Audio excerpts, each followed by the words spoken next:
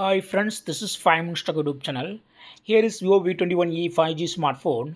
In this video, you will learn how you can reset privacy password for app lock on your phone Vivo V21e 5G.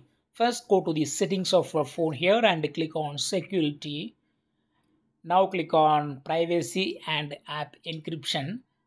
And here you go to give the current privacy password.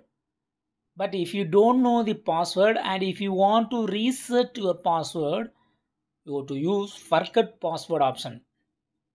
I try with different password and it's not done. And i go to forget password here. And it will ask two questions.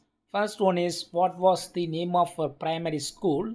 So here i give the answer sk high school. These questions are previously set. While you set up your privacy password it is set already. So you got to give those answers correctly. Next question is who is the your best childhood friend? Here i give vanita. Give the correct answers and click uh, click done. And now you can select your password.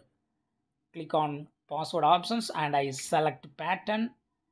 Draw the pattern that you want to set now. So here i draw this pattern. I draw the same pattern to verify. And yes it is set now. And now go to app encryption. That is privacy and app encryption and uh, try to put your current pattern current privacy pattern privacy password. So it will work. So in this way you can easily reset privacy password for app lock on your phone vivo v21e 5g that's all friends. Thanks for watching. Bye